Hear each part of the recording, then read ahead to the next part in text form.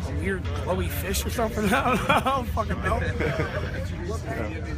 Right, I don't know. Yeah, some type of eagle or hawk or just something weird. I don't know. Something weird. Man, we got any questions online? Uh, yeah, they want to know how this, uh, the weed was this year compared to past gatherings. There's a lot of Michigan weed here. Yeah. I've noticed. Yeah, it used to be a lot of Denver weed or a lot of Cali weed, but everyone I ask, you know, where's this out of? They're like, here, but it's mainly Michigan. Yeah. It's all good to me, you know. Weed is weed. Yeah, is there an artist that you haven't had at a gathering yet that you want to see perform next year? Uh, I don't know. They're always surprising. You know? no doubt. I'm enjoying it how it is. Yeah. Like to gamble and see what's coming. You know? Yep. so it's always great. I always have a good time.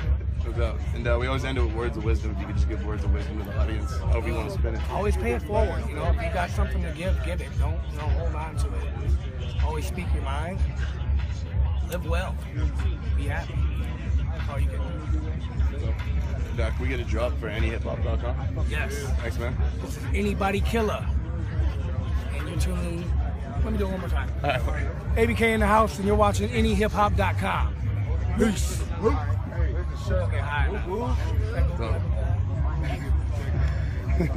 appreciate the time, man. Recording too, bitch.